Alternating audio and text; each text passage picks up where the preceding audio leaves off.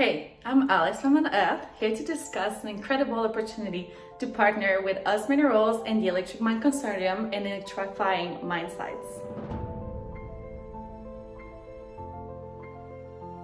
With less than a month to go, come register your expression of interest fast before the 10th of November. The aim of this project is to create partnerships with different industries in the pursuit of a viable solution for simulating various aspects of electrification in the mining sector. Electrification of mine site is a critical step change needed for the mining industry to achieve a zero carbon future.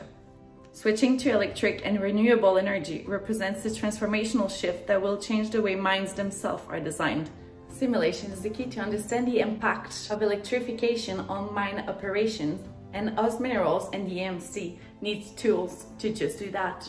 This eight-week online competition invites companies and individuals from around the world to propose your design and approach for developing a scalable mine design simulation platform that can be used to compare a fully electric underground mine with its diesel-powered equivalent. This is the perfect platform for innovators to gain exposure, raise the profile of the companies, demonstrate their capabilities, and connect with leaders in the mining industry across Australia.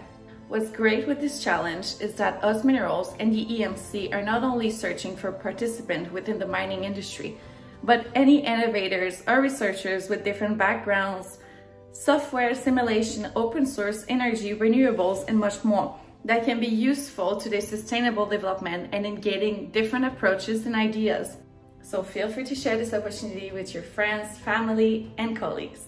For more information, visit our website or watch the Q&A webinar where we discuss the opportunity with the OZ Minerals and the EMC teams. Can you help OZ Minerals and the EMC simulate the electric mine of the future?